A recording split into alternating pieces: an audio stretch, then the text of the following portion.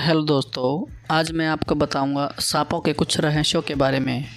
Video शुरू करने से पहले चैनल को सब्सक्राइब ज़रूर करें। तो आइए शुरू करते हैं। विश्व में सांपों की लगभग तेरह प्रजातियाँ पाई जाती हैं, जिनमें से दस प्रजातियाँ भारत में मिलती हैं। सांप एकमात्र ऐसा जीव है जो आँखों से सुन सकता है। इसी कारण सांप को संस्कृत भाषा में चक्षुश्रवा, यानी आँख से सुनने वाला जीव कहा जाता है। सांप की पलकें नहीं होती, जिसके कारण यह कभी आँखें बंद नहीं कर पाता।